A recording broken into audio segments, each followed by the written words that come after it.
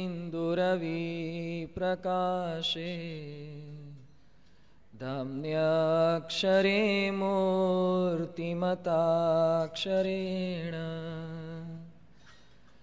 सार्धं स्थितं मोक्तगणावृतं च श्रीस्वामिनारायणमानमामि लोकाभिरामं रणरङ्गधीरम्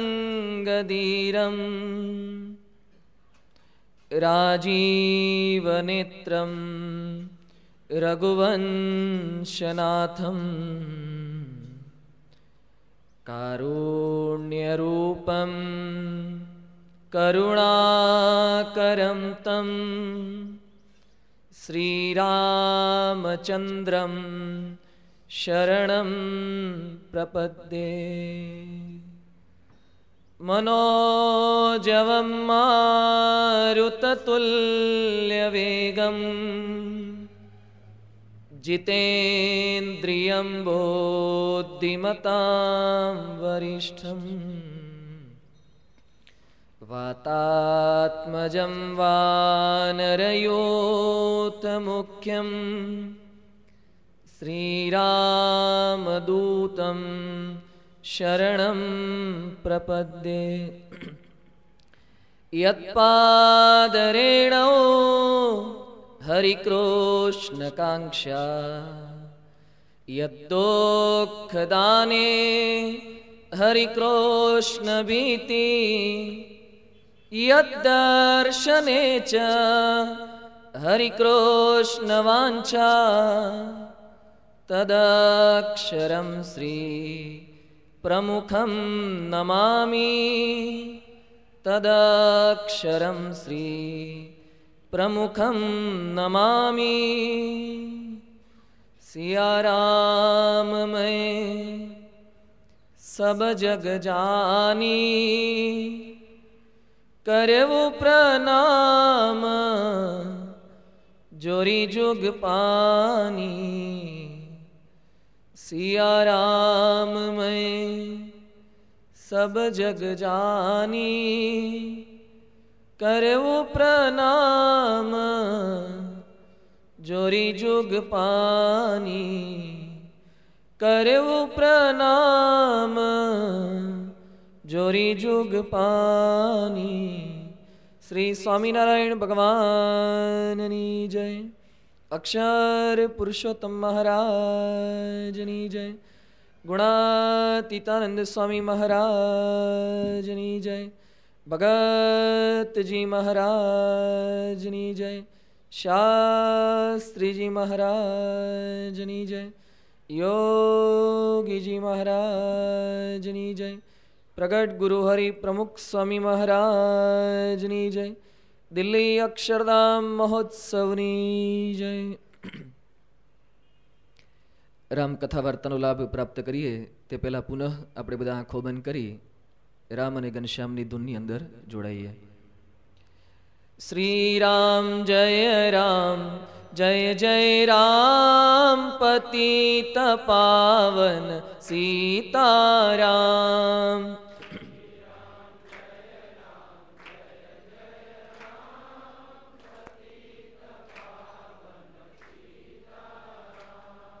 श्रीराम जय राम जय जय राम। पतित पावन सीताराम।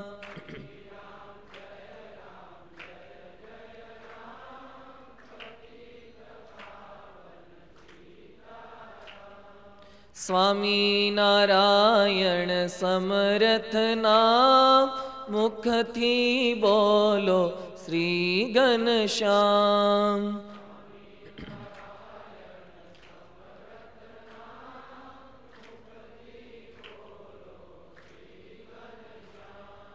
स्वामी नारायण समरथ नाम मुखति बोलो श्रीघनश्याम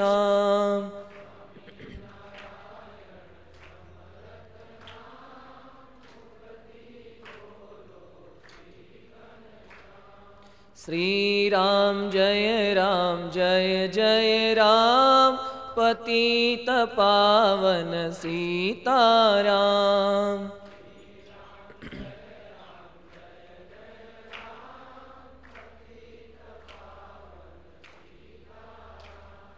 श्रीराम जय राम जय जय राम। पतित पावन सीताराम।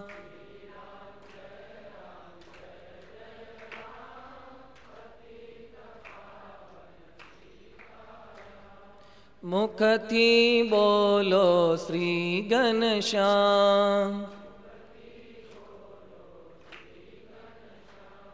મુખથી બોલો શ્રી ઘનશ્યામ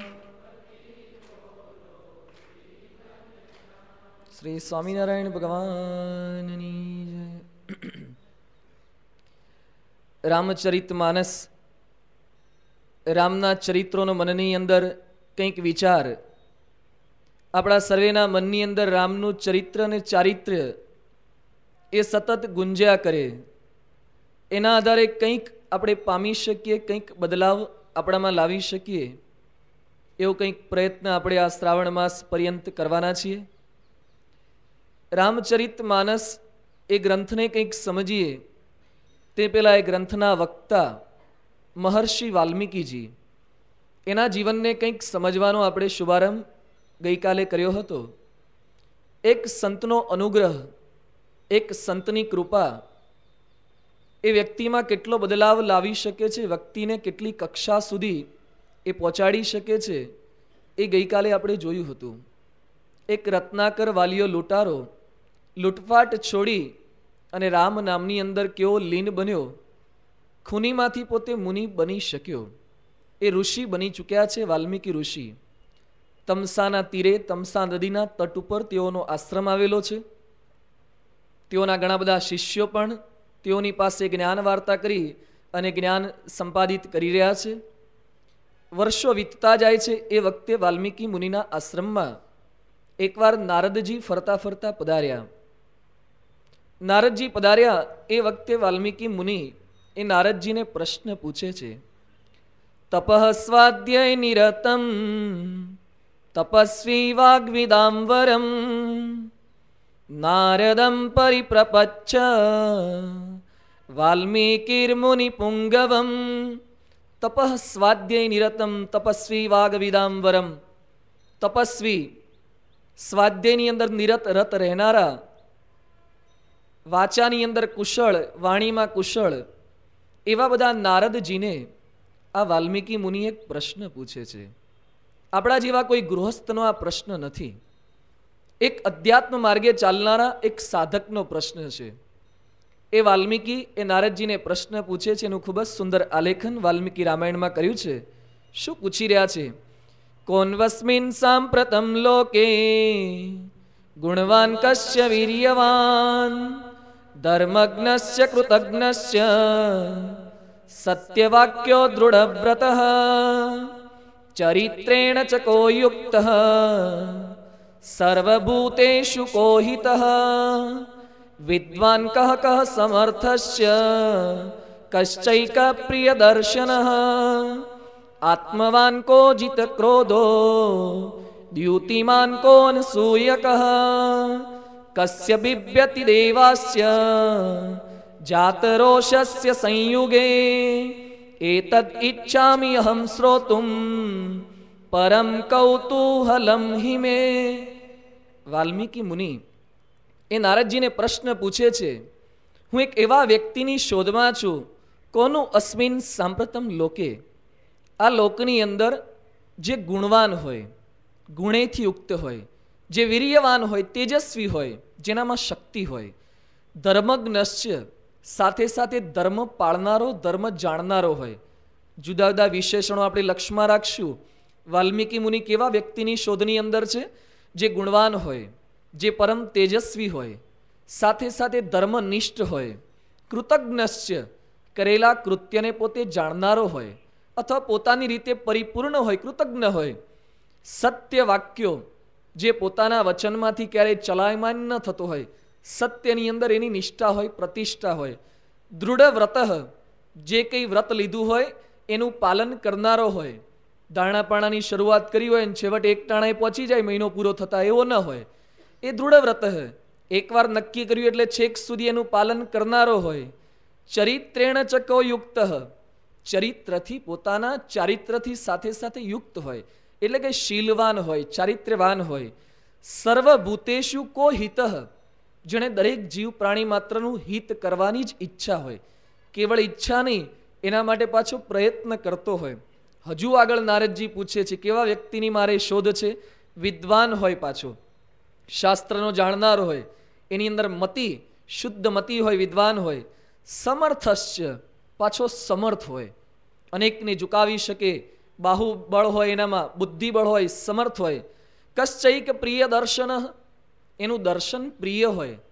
લોકોને જોવો ગમે, એને મળવું ગમે. આત્મવાન સાથે સાથે આત્મનિષ્ઠ હોય. આત્મામાં એની સ્થિરતા હોય. જીત ક્રોધો કેવો હોય? જેના દ્વારા ક્રોધ જીતાયો છે એવો જીત ક્રોધ હોય. આજે માણસમાં શક્તિ વધે, બળ વધે એટલે ક્રોધની માત્રા પણ વધતી જાય. પણ આને તો ક્રોધ જીતી લીધો હોય, ક્યારે ગુસ્સે ન થતા હોય. દ્યુતિમાન કો અનસૂયક દ્યુતિમાન એટલે બુદ્ધિમાન કહી શકાય, તેજમાન કહી શકાય. કો અનસૂયક, કોઈની ઈર્ષ્યા ન કરતો હોય ક્યારે પણ, અનસૂયક. કસ્ય બિબ્યતિ દેવાસ્ય, જેના લીધે દેવો પણ ડરતા હોય, જેનાથી દેવો પણ ગભરાતા હોય, જાત રોષસ્ય સંયુગે. આવા લક્ષણયુક્ત એવા વ્યક્તિની હું શોધમાં છું. એતદ ઈચ્છામી અહમ શ્રોતુમ પરમ કૌતુહલમ મેં મને એવો એક વ્યક્તિ બતાવો જેની અંદર આ સર્વે ગુણો હોય. એ વખતે નારદજી પણ થોડાક ચિંતામાં પડી ગયા અને નારદજી પોતે વાલ્મીકી મુનિને કહે છે, બહવો દુર્લભાસ ચૈવ, એ ત્વયા કીર્તિતા ગુણા તમે જે ક્વોલિફિકેશન માગ્યું છે બાયોડેટા તમે જે રજૂ કર્યો છે, ભરતી માટેનો, આ તો એક સાથે એક વ્યક્તિમાં જોવા મળવું અતિશય દુર્લભ છે. એન્જિનિયર હોય, એમબીબીએસ હોય એમસી થયેલો હોય, એમબીએ થયેલો હોય. દરેક શાખાની અંદર એ સ્નાતક, અનુસ્નાતક થયેલો. આવા વ્યક્તિ ક્યાંથી મળે? એક એક ગુણમાં જેણે પીએચડી કરી હોય, એવી વ્યક્તિની માગણી તમે મારી પાસે કરી રહ્યા છો. સર્વગુણ સંપન્ન માણસ મળવો અતિશય દુર્લભ છે. ભાગવતમાં ખૂબ જ સુંદર કથા આવે છે, સમુદ્ર મંથનની. સમુદ્ર મંથન દેવોને દાનવો વચ્ચે થયું. ઘણા બધા કૌસ્તુભ મણી છે, અમૃત છે, એ બધું ઘણું બધું નીકળ્યું, ઝવેરાત ને બધું. સાથે સાથે વિષ પણ નીકળ્યું. તો વિષ તો શિવજી એ પાન પોતે કરી ગયા. પણ લક્ષ્મીજી પોતે અંદરથી નીકળ્યા સમુદ્રમાંથી, સમુદ્રના પુત્રી તરીકે લક્ષ્મીજી નીકળ્યા. તેઓના હાથની અંદર વરમાળા હતી. હવે લક્ષ્મીજી એ વખતે સ્વયંવર પોતાની ઈચ્છા પ્રમાણે વરની પસંદગી કરવાના હતા, સિલેક્શન કરવાના હતા. લક્ષ્મીજી બહાર નીકળ્યા છે, વરમાળા લઈને. સામે દેવો છે, દેવતાઓ પણ સામેની હરોળમાં બેઠેલા છે દાનવો પણ બેઠેલા છે. બધાના મનની અંદર એમ છે કે આટલી રૂપવાન સ્ત્રી એ આપણને વરમાળા પહેરાવે તો સારું. બધા તલપાપડ થયા છે, કેટલાક વાળ સેટ કરવા લાગ્યા છે, કેટલાક બધા પોતપોતાની રીતે મોઢા ઉપર રૂમાલ ફેરવીને બરાબર સાફ સુફી કરવા લાગ્યા છે. આવા લક્ષ્મીજી આપણને વરે તો દરેકના મનમાં ઈચ્છા હોય. લક્ષ્મીજી પણ કોઈની સામે એમ નજર કરતા નથી, એ તો બુદ્ધિમાન હતા, ગુણિયલ હતા. સાથે સાથે એ પોતાની રીતે વિચાર કરી શકવા માટે સમર્થ હતા. એ દરેક વ્યક્તિની નજીક જાય. અને પછી વ્યક્તિમાં જેટલા કંઈ ગુણ હોય એનો વિચાર કરે. હા, કે આ વ્યક્તિની અંદર બળ છે. પણ કે બળ છે પણ સાથે સાથે એનામાં ઈર્ષાની ભાવના પણ બહુ જ છે. બળમાં એ પૂર્ણ છે, પણ પાછી ઈર્ષા એ છોડી શકતો નથી. દરેક વ્યક્તિ પાસે ગયા લક્ષ્મીજી અને પછી પોતે બોલતા જાય, નૂનમ તપો યસ્યને મન્યુ નિર્જયો. એમાં તપ બહુ છે, પણ ક્રોધ હજી જીત્યો નથી. દુર્વાસાજીને જોયા કે દુર્વાસા કેવી વ્યક્તિ હતા? તપ ખૂબ કરતા. મહારાજે વચનાવૃતની અંદર પણ ઉલ્લેખ કર્યો છે કે ગોપીઓના બધા પકવાન જમી ગયા તો એ પાછા તપસ્વી તો ખરા જ. ભારે તપસ્વી દુર્વાસા હતા. તપ કરી શકાય પણ ક્રોધને છોડી શકાતો નથી. સંતો કહે છે ને, આમ મનન પણ એવું છે કે જેમ જેમ માણસ તપ વધારે કરતો જાય ને એમ ક્રોધની માત્રા પણ જો ધ્યાન ના રાખે તો વધતી જાય. આપણને અનુભૂતિ થાય, એકાદશીનો નિર્જળા ઉપવાસ કર્યો હોય કોક સહેજ આગુ પાછું કરે, તો તરત બડકો થાય છે. કારણ કે અંદર કંઈ અનાજ ગયું ન હોય ને, એટલે સહેજે સહેજે ક્રોધની માત્રા એ વધી જાય છે. તપની સાથે સાથે ક્રોધ પણ વધે. એટલે બહુ જાણપણું રાખવું પડે, નહીં તો ક્રોધનો સ્વભાવ એ વિશેષ માત્રાની અંદર પુષ્ટ થતો જાય. લક્ષ્મીજી કહે છે, દુર્વાસા ખૂબ સારા, તપ ખૂબ કરે છે. ખાવા પીવાની કોઈ ચિંતા નહીં. આવાને વર્યા હોય તો રસોઈ મોડી થાય કે વહેલી થાય કે ચિંતા નહીં કે આવાને વર બનાવ્યા હોય તો. પણ કે સાથે સાથે ક્રોધ એટલો કરે છે, એટલે હેરાનગતિનો પાર નહીં કે એટલે આવા સાથે એન્ગેજમેન્ટ કરાય નહીં. એટલે એમને કેન્સલ કર્યા. પછી આગળ જુએ છે, કશ્ચિન મહાન તસ્યન કામ નિર્જય ખૂબ મહાન છે બ્રહ્માજી જેવા એ તો સ્વયં પોતે મહાન છે પણ ન કામ નિર્જય એ પોતે કામને જીતી શક્યા નથી આજે મારી સાથે વ્યવહાર કરે અને પોતાની દીકરી સરસ્વતીને જોઈને તો ચલાયમાન થઈ ગયા હતા જે કામ તો જીતી શક્યા નથી એવી વ્યક્તિ સાથે વેવિશાળ શું કરવા કરવું એટલે બ્રહ્માજીની પણ પસંદગી કરતા નથી ક્વચિત ચિરાયુર ન શીલ નહીં શીલ મંગલમ કહેતા કે બહુ મોટું આયુષ્ય છે દરેક સ્ત્રીને સૌભાગ્યવતી રહેવાની ઈચ્છા હોય કે મારો પતિ મારા પહેલાં મૃત્યુ ન પામે, ક્યારે વિધવા ન થવું પડે, તો જાજી ઉંમરવાળો, જાજી આવરદાવાળો પતિ મળે તો સારું. તો રાવણની આવરદા એંશી હજાર વર્ષની હતી. આવા લાંબુ જીવનારા ઘણા બધા દેખાય, પણ સાથે સાથે શીલ મંગલમ નહીં. એને સાથે શું નથી? શીલ નથી. એનામાં એ પાછી ચારિત્રની ખોટ છે. અતિશય અભિમાન છે, માની છે, અહંકારી છે. એટલે એને પણ રિજેક્ટ કરે છે. સામે કેટલાય બધા મૂર્તિયા બનવા ઊભા હતા. બધાને લક્ષ્મીજી જોવે ને બધાને રિજેક્ટ કરે છે. કોકમાં એકાદો ગુણ હોય ને સાથે નવ્વાણું અવગુણોની હાર માળા હોય છે. કોકમાં બે ત્રણ ગુણ હોય ને બાકી બધા અવગુણ હોય. આટલા બધાને જોયા પણ કોઈ સર્વગુણ સંપન્ન ન મળ્યું. છેવટે વિષ્ણુ ભગવાન એક દેખાયા કે જેમાં કોઈ અવગુણ નહોતો. સર્વ ગુણ બધા ગુણેથી ભરેલા હતા ગુણ સાગર એવા ભગવાનને પોતે વર્યા. એટલે કહેવાનું શું? આ ધર્મગ્રંથો, આ પ્રસંગો આપણને શીખવે છે. આપણને બોધપાઠ આપી જાય છે કે આ પૃથ્વી ઉપર, આ વિશ્વની અંદર, આ ધરતી ઉપર કેવળ એક માત્ર જ પૂર્ણ હોઈ શકે છે. ઓમ પૂર્ણમદ, પૂર્ણમ ઇદમ પૂર્ણાત, પૂર્ણમ ઉદચ્યતે. કોણ પૂર્ણ છે? કેવળ એક ભગવાન પૂર્ણ છે. ભગવાન સિવાય કોઈ ક્યારે પૂર્ણતાનો દાવો કરી જ ન શકે આપણે સંપૂર્ણ છીએ. આપણે કોઈ પૂર્ણ નથી. દરેક વ્યક્તિ તરફ આપણે નજર કરીએ તો વ્યક્તિમાં કંઈક ગુણો દેખાય, સાથે સાથે અપૂર્ણતા, બીજા દોષોથી ભરપૂર પણ સાથે એટલા જ હોય છે. માઇકલ જેક્સનની વાતો સંતો ઘણી વખત કરે છે. પૂર્ણ, શેમાં? નૃત્ય કળાની અંદર પૂર્ણ. એની તોલે કોઈ ના આવી શકે. મ્યુઝિક વાદનની અંદર પૂર્ણ.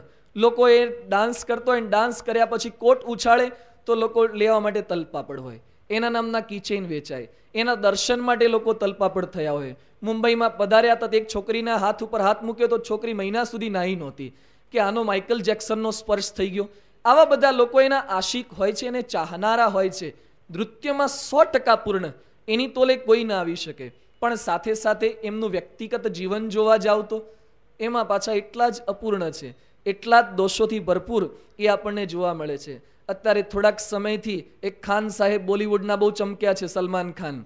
બરાબર ન્યૂઝપેપરની અંદર. બહુ પૂર્ણ લાગે છે નૃત્ય કળામાં ફિલ્મની અંદર. ઘણા બધા ફિલ્મો છે પંચાણું બાણુંની સાલથી સતત ફિલ્મમાં ઉતર્યા કરે છે.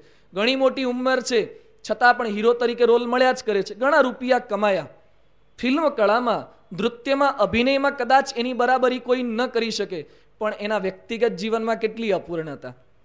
આજે હું નથી કહેતો આજે સમગ્ર સમાજ કે છે, એના ઉપર કેટલા દોષારોપણ છે. થોડાક સમય પહેલાં કંઈ બોમ્બેમ ગાડી લઈને જતા હતા ત્રણ જણાને ઉલાળીને જતા રહ્યા હતા. પછી તો જેલમાં જવાનો વખત આવ્યો, પણ આ લોકોને તો જેલમાં કોણ પૂરી શકે? અત્યારે પાછી દાઉદ સાથે સાઠ ગાંઠ, એના પણ પ્રશ્નો બધા ચાલે છે. નૃત્ય કળામાં પૂર્ણ વ્યક્તિગત જીવનમાં દેશ સાથેની દગાબાજી, બેઈમાની, એ બધામાં પાછા એટલા જ દોષોથી ભરપૂર જોવા મળે. કપિલ દેવને યાદ કરી લઈએ. ફિલ્મ જગતને યાદ કર્યું, ક્રિકેટ જગત. ખૂબ પૂર્ણ. વર્ષોથી ભારતને વર્લ્ડ કપ વર્લ્ડ કપની અંદર જીતાવામાં પણ એનો ફાયદો, એનો ઘણો મોટો ફાળો હતો.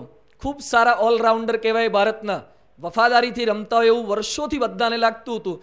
પણ મેચ ફિક્સિંગમાં રડવાનો વારો આવ્યો. ન્યૂઝપેપરમાં કપિલ દેવનો રડતો ફોટો આવતો હતો. ટીવીની અંદર પણ રડતા બતાવવામાં આવ્યા.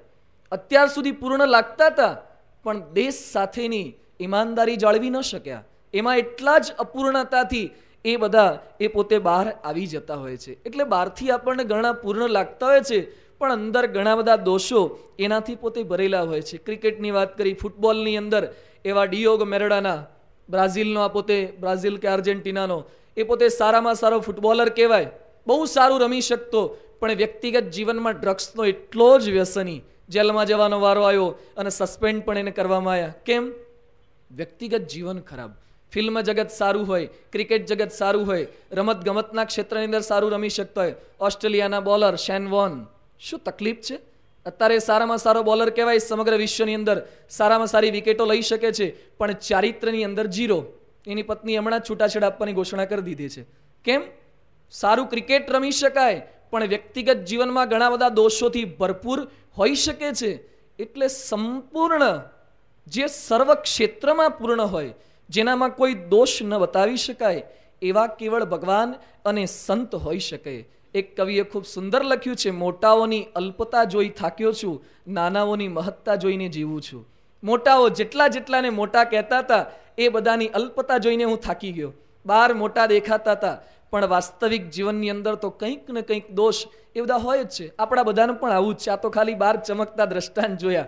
એમ આપણે હું બોલતો હોય ત્યારે અહીંયાથી આપણે સારા લાગીએ. તમે સાંભળતા હોય ત્યારે સારા લાગીએ. પણ વ્યક્તિગત આપણા અન્ય પાસા કોઈ વ્યક્તિ જોવે, આપણી ભેગા થોડાક દિવસ રહે એટલે એને ખબર પડી જાય કે આમાં કેટલી ખોટ છે.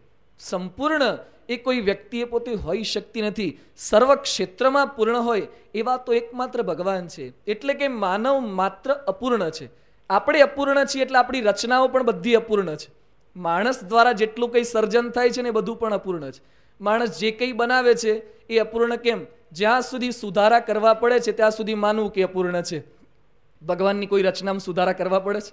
ભગવાન એકવાર બનાવ્યું એટલે બનાવ્યું, પછી ભગવાનને ફરીથી હાથ મારવો પડતો નથી કે થોડો ફરથી કલર કરી દઈએ, અથવા તો પર્વતમાં, હિમાલયમાં થોડા સુધારા કરી દઈએ, માણસમાં નવું મોડલ બદલીએ. ભગવાને એકવાર ડાઈ બનાવીએ બનાવી પણ માણસ સતત પહેલા સામાન્ય જીપ આવતી હતી, જીપમાંથી સુધારા કરીને સુમો કરી, સુમોમાંથી કોલિસ કરે કોલિસમાંથી તવેરા કરે. જાત જાતની ગાડીઓ એકની એક કંપનીવાળા પણ સતત સુધારા કેમ કર્યા કરે છે? કારણ કે એને ખબર છે કે સુમો આમ સારી છે, પણ પાછી બહુ એવરેજ બરાબર આપતી નથી અને અવાજ બહુ કરે છે. એટલે કે કોલિસ લાવો. કોલિસ લાવે પણ યારી પલટી જલ્દી ખાઈ જાય છે. બહુ એમાં પાછું એક એક ગુણ હોય તો પાછો કંઈક ને કંઈક દોષ રહી જાય છે. બરે રનિંગ એનું સારું હોય એવરેજ બહુ ઓછી આપતી હોય. આ પેટ્રોલનો કૂવો છે કે પેટ્રોલ બહુ ખાઈ જાય છે. જો જો, એક પણ સર્જન જો આ કુદરતનું નહીં, અને આ માણસનું સર્જન જો, કંઈકમાં કંઈક ગુણ હોય તો સાથે સાથે એટલા દોષ એમાં ભરપૂર છે.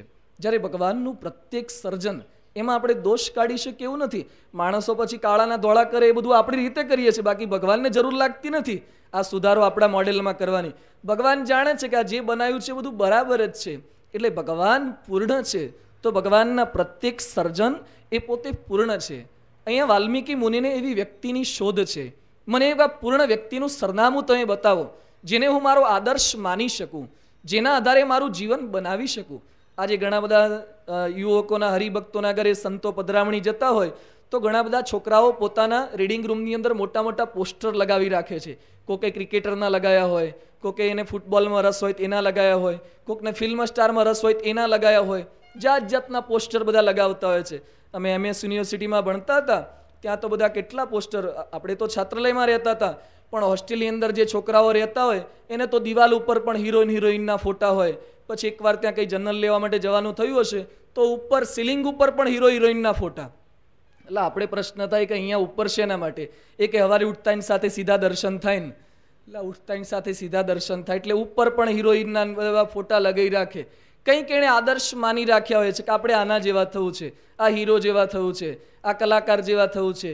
એટલે પ્રત્યેક ક્ષેત્રમાં આગળ વધવા માટે, કંઈક પ્રાપ્ત કરવા માટે એવી વ્યક્તિને આપણે રોલ મોડેલ તરીકે આદર્શ માનવા પડે છે. પણ જેને આપણે આદર્શ માન્યા છે તો વાસ્તવિક જીવનમાં ઘણા બધા ઉણપોથી ભરેલા છે. તો એક એવી વ્યક્તિ જોઈએ જે સર્વ ક્ષેત્રમાં પૂર્ણ હોય, જેના જીવનમાં ક્યારે આપણને પસ્તાવાનો વારો ના આવે. નહીં, ઘણીવાર લગ્ન કર્યા પછી આમ શરૂઆતમાં બહુ આનંદ હોય. પછી એમ લાગે છે કે આ તો માન્યું તેવા ન નીકળ્યા. નહીં, જેવા ધાર્યા હતા એવા ન નીકળ્યા. શરૂઆતમાં બહુ સારા લાગતા હતા પણ પછી પાછળથી પસ્તાવાનો વારો ઘણી વખત એ દરેક સંબંધની અંદર કોઈ ધંધામાં ભાગીદારી કરીએ એમાં પણ પ્રશ્ન થાય. બહુ સારા લાગતા હોય. પછી ક્યારે વ્યક્તિ કેવી નીકળે કંઈ નક્કી નહીં. પણ ભગવાન સાથેની ભાગીદારી, ભગવાન એક એવા પૂર્ણ છે જે ક્યારેય આપણને દગો દેતા નથી, જે સર્વગુણે સંપન્ન છે. એટલે નારદજીને પ્રશ્ન પૂછ્યો કે તમે મને એવા એક વ્યક્તિનો પરિચય આપો, એની ઓળખ કરાવો. એ વખતે નારદજી પોતે કહે છે ઇક્ષ્વાકો વંશ પ્રભવો, રામો નામ જનૈ શ્રુત નિયતાત્મા મહાવીર્યો, દ્યુતિમાન દ્યુતિમાન વશી. નારદજી કહે છે, આ પૃથ્વી લોક પર એક જ વ્યક્તિ એવી છે જે સર્વગુણ સંપન્ન છે. ઇક્ષ્વાકુ વંશની અંદર જન્મ થયેલા દશરથના પુત્ર રામ એ પૂર્ણ છે. ભગવાન છે એટલે પોતે પૂર્ણ છે. નારદજી અને રામના જન્મથી માંડીને અત્યાર સુધીની સગળી કથા સંભળાવે છે. સૌથી પહેલી વાલ્મીકીને જો કોઈએ રામકથા સંભળાવી હોય, તો એ નારદજીએ રામકથા સંભળાવી. વાલ્મીકી ખૂબ જ આનંદની અંદર આવી ગયા છે. રામના બાળચરિત્ર સંભળાવ્યા. રામ પોતે વનની અંદર પધાર્યા, રાક્ષસોનો સંહાર કર્યો. એ બધી પણ ઘણી બધી કથા સંભળાવી. એમના ગયા પછી નારદજીએ ત્યાંથી વિદાય લીધી. ત્યાર પછી વાલ્મીકી પોતે રામમય બની ગયા. રામનું રટણ પોતે કરતા હતા, વાલિયા તરીકે. પણ જેનું રટણ કરતા હતા એ રામ કેવા છે એ પરિચય આજે થયો. એના ચરિત્રોની માહિતી એ આજે તેઓને પ્રાપ્ત થઈ. એટલે ખૂબ આનંદમાં છે. ભગવાનનો પરિચય થયો. ભગવાનનું નામ, ઠામ, એના ગુણોની ઝાંખી થઈ. એટલે નારદજી ખૂબ આનંદમાં છે, આ વાલ્મીકી ખૂબ આનંદમાં છે. એમના શિષ્ય ભરદ્વાજ મુનિ એ ભરદ્વાજની સાથે એ તમસા તીરે ફરીથી પોતે સ્નાન કરવા પધાર્યા છે. અને મનમાં ખૂબ આનંદ છે. શા માટે આનંદ છે? પૃથ્વી પર પૂર્ણ માનવ વસે છે એની ખબર પડી ગઈ. હજુ મળ્યા તો નથી હા રામને, પણ ખાલી ખબર પડીને એનો પણ એક આનંદ હોય છે. આપણને ખબર પડે કે આ કંપનીમાં જગ્યા ખાલી છે. હજી તો આપણે એપ્લાય પણ ન કર્યું હોય. કંઈ મળવા પણ ન ગયા હોય. છતાં પણ એક આનંદ થઈ જાય છે. છાપામાં જાહેરાત વાંચીને પણ. કંઈક આવી વ્યક્તિ છે, દુકાન વેચવાની છે, જમીન વેચવાની છે, નહીં, મંદિર માટે જમીન લેવાની હોય, ઘણો બધો પ્રયત્ન કરીએ પણ કંઈ દેખાતી અને કોક આપણને કહી જાય સ્વામી, આ જગ્યા છે ને વેચવાની છે. હજુ તો આપણે ખરીદી પણ ન હોય, તો પણ આનંદ થાય છે કે મળે એવી લાગે છે. પ્રયત્ન કરીએ ના પણ મળે, પણ ખાલી જાણ થાય એનો પણ એક આનંદ હોય છે. એમ વાલ્મીકીને નારદજી દ્વારા જાણ થઈ કે એવી વ્યક્તિ આ પૃથ્વી ઉપર વસે છે, એટલે ખૂબ આનંદમાં આવી ગયા. આનંદમાં આવી ગયા પછી નદી કિનારે ગયા તો સૃષ્ટિ પણ બધી ખૂબ આનંદમાં લાગવા લાગી. પક્ષીઓ કલરવ કરતા તેમને ગમવા લાગ્યું. નદી વહેતી હતી, એનો અવાજ, એ કલકલ કરતો જે અવાજ હતો, એ પણ આનંદમાં, એ પણ એમને પ્રફુલ્લિત કરવા લાગ્યો. કારણ કે મનમાં આનંદ હતો. મનમાં જો આનંદ હોય ને તો બાર બધે આનંદ લાગે છે. મન આપણું પ્રફુલ્લિત હોવું જોઈએ. મન શું ખાલી શરીરમાં જો સ્વસ્થતા ના હોય ને તો બહારનો આનંદ નથી આવતો. તાવ આવી ગયો હોય અને પછી કોઈ સારી વાનગી આપે તો એ આપણને ગમતી નથી. કારણ કે શરીર આપણને સાથ આપતું નથી. પેટ સાફ ના આવ્યું હોય ને તોય આનંદ ના આવે. બોલો.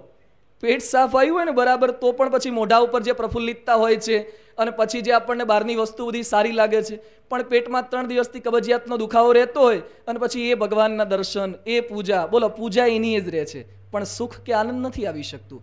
કારણ કે પેટ શુદ્ધ નથી થયું. શરીર સાફ નથી થયું. તો જ્યાં સુધી મન પણ સાફ ન થાય, તો ત્યાં સુધી કોઈ બહારનો આનંદ આવતો નથી. અહીંયા વાલ્મીકી મુનિનું મન શુદ્ધ થયું હતું. એ ભગવાનથી પોતે યુક્ત બન્યું હતું. એટલે બહાર એને આનંદ આવે છે. પોતાના શિષ્ય સાથે એ નદીની અંદર પોતે સ્નાન કરી રહ્યા છે. એ વખતે એમણે સામે ક્રૌંચ પક્ષીનું યુગલ જોયું. ક્રૌંચ પક્ષીની જ્ઞાતિ છે, જાતિ છે. એ પતિ પત્ની પોતે સાથે બેઠા હતા. અને પરસ્પર કંઈક વાર્તાલાપ કરી રહ્યા છે પક્ષીની ભાષાની અંદર. પરસ્પર હેત પ્રીતથી એકબીજાને ખવડાવી રહ્યા હતા, મળી રહ્યા હતા સુખ દુઃખની વાતો એ પક્ષીઓ કરી રહ્યા હતા. વાલ્મીકીએ પોતે આ બે પક્ષીઓની પ્રણય લીલા જોઈ અને પોતે ખૂબ આનંદ પામ્યા કે વાહ, ભગવાનની રચના કેવી છે? ભગવાને પક્ષી કેવા બનાવ્યા છે? અને પક્ષી પણ કેટલી આત્મીયતાથી રહે છે? એને કંઈ રહેવા માટે બીજું કોઈ ઘર નથી, બીજું કંઈ પહેરવાના કપડાં નથી, છતાં પણ ક્યારેય પતિ પત્ની ઝઘડતા નથી ખૂબ શાંતિથી રહે છે. એમ આ પોતે વિચાર કરતા હતા, એ પક્ષીને જોતા હતા. એ જ વખતે અચાનક કોઈ ખૂણામાંથી સનન કરતું એક તીર આવ્યું અને ક્રૌંચ પક્ષીના એ યુગલમાંથી જે નર હતો જે પુરુષ પક્ષી હતું, એનો વધ કરી નાખ્યો. તરત જ પક્ષી ત્યાં મરી ગયું. મૃત્યુ પામી ગયું અને એકદમ તરફડવા લાગ્યું. એ વખતે પેલી માદા હતી. હવે આપણે કંઈ હોઈએ તો પેલાને પકડવા જાય, પાછળ દોડવા જાય. કંઈક સામે કોર્ટમાં કેસ કરે. પણ આ બધું પક્ષીઓમાં શું હોય? એ લોકો તો ન્યાયને અન્યાયના બધા કાવા દાવાથી પર છે બિચારા, બીજું શું કરી શકે? એટલે તો સતત પતિ જોયા કરી. પોતાનો પતિ પોતાની નજર સમક્ષ આમ તરફડી રહ્યો છે. એટલે માદા જે પક્ષી હતું, એકદમ ચિત્કાર કરી ઉઠ્યું છે, એકદમ પોતે રુદન કરવા લાગ્યું છે. વાલ્મીકીએ આ દ્રશ્ય જોયું કે થોડીક ક્ષણો પહેલાં કેટલું આનંદમાં પરિવાર હતો. એણે પેલા પારધીનું શિકારીનું શું બગાડ્યું હતું? છતાં શિકારીએ વધ શા માટે કર્યો? નરને શા માટે વિંધી નાખ્યો? આ તડફડાટ, આ દુઃખ, આ રુદન એ વાલ્મીકી પોતે ન જોઈ શક્યા, એ રડી પડ્યા, એનું હૃદય રડી પડ્યું અને મુખમાંથી, એમના મુખમાંથી ઉદ્ગાર નીકળી પડ્યો. મા નિષાદ પ્રતિષ્ઠામ ત્વમ, અગમ શાશ્વતી સમા યત્ક્રૌંચ મિથુનાદેકમ, અવધિ કામ મોહિતમ. હે નિષાદ, હે પારધી, હે શિકારી, સમગ્ર જીવન પર્યંત તું શાંતિ નહીં પામી શકે. તે ખૂબ મોટું પાપ કર્યું છે. પેલા પક્ષીઓએ તારું શું બગાડ્યું તું? છતાં પણ તે શા માટે વધ કર્યો? એ યુગલને તે શા માટે વિક્ષેપ પહોંચાડ્યો? શા માટે દુઃખી કર્યા? એટલે પારધીને, પેલા શિકારીને પોતે શાપ આપી દીધો. શાપ આપ્યા પછી અસ્વસ્થ બની ગયા કારણ કે ઋષિ હતા. ઋષિને કોકનાથી કંઈક કહેવાઈ જાય પછી પણ પાછા અસ્વસ્થ બની ગયા. આમય આપણે પણ ગુસ્સે થઈ ગયા પછી થોડીક વાર ગુસ્સો સારો લાગે, પણ ગુસ્સો ઉતરી જાય પછી કોઈ પણ માણસ બેચેન બની જાય છે, અસ્વસ્થ બની જાય છે. એમ વાલ્મીકી ઋષિ પણ થોડાક અસ્વસ્થ બની ગયા. પણ સાથે સાથે એમને એક આશ્ચર્ય થયું કે એમના દ્વારા જે શાપ બોલાયો, એ છંદબદ્ધ વાણીની અંદર બોલાયો છે. એટલે એમણે પોતાના શિષ્યને વાત કરી કે, હે ભરદ્વાજ, અત્યાર સુધી મારા મુખમાંથી આવો શ્લોક ક્યારેય નીકળ્યો નથી. શોકાર્તસ્ય પ્રવૃત્તો મેં, શ્લોકો ભવતું ન અન્યથા. આ શોકને લીધે મારા મુખમાંથી આ શ્લોક નીકળી પડ્યો. ખરેખર મને આશ્ચર્ય થાય છે કે આવો શ્લોક કેમનો નીકળ્યો? આ જે શ્લોક હું હમણાં બોલ્યો મા નિષાદ પ્રતિષ્ઠામ ત્વમ અગમઃ શાશ્વતી સમાહ યત ક્રૌંચ મિથુનાદ એકમ અવધિ કામ મોહિતમ સંસ્કૃત જગતનો ભારતમાં જ્યારથી વેદ ને બધા તો અપૌરુષે છે ત્યારથી માંડીને અત્યાર સુધી સૌથી પહેલો અનુષ્ટુપ છંદ સંસ્કૃતમાં જો શ્લોક બન્યો હોય તો સૌથી પહેલો આ છે એટલે બહુ પ્રસાદીનો બહુ ઐતિહાસિક આ શ્લોક છે એટલે વાલ્મીકી મુનિને આશ્ચર્ય થયું કે આવો શ્લોક મારા મુખમાંથી કેમનો સરી પડ્યો? સંસ્કૃત સાહિત્યનો પ્રથમ અનુષ્ટુપ છંદ પોતે મનની અંદર આ વિચાર કંઈક આનંદ છે? આવો શ્લોક મુખમાંથી નીકળ્યો એટલે સાથે સાથે પેલી પક્ષીનું હત્યા જોઈ, પેલા નરને મરતા જોઈ પોતાની નજર સમક્ષ. એટલે એનું પણ સાથે સાથે દુઃખ છે. મનમાં એક વિચાર આવે છે કે લોકો અહિંસા શા માટે કરતા હશે?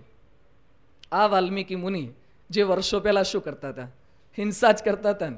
પેલા એ તો ખાલી પક્ષીને માર્યો છે. તમે તો માણસોના દળથી માથા જુદા કરતા હતા. તમે એ જ વાલિયા હતા. છતાં પણ સંતની કૃપાથી કેવું પરિવર્તન થાય છે. ગઈકાલે પરિવર્તનની વાતો કરી હતી. કેટલી કક્ષા સુધી માણસનું પરિવર્તન સંત કરી શકે છે. જે માણસના મસ્તક વધેરતા અચકાતો નહોતો, એ આજે એક પક્ષીને મરતું જોવે છે, એ પોતે સહન કરી શકતો નથી. સ્વામીજીના પ્રતાપની પણ એમના પ્રભાવની ગઈકાલે વાતો કરી હતી. તિથલ બાજુ પણ કેટલાક આદિવાસી માણસો, માછીમાર માણસો, ટંડેલો, એની પણ આ જ ધંધો હતો. મત્સ્ય બધું ભેગા કરવાના, માછલાઓ એને મારવાના અને પછી ખાવાના. એ સિવાય પણ ઘણા પક્ષીઓનો શિકાર કરનારા ત્યાંના યુવકો બધા હતા.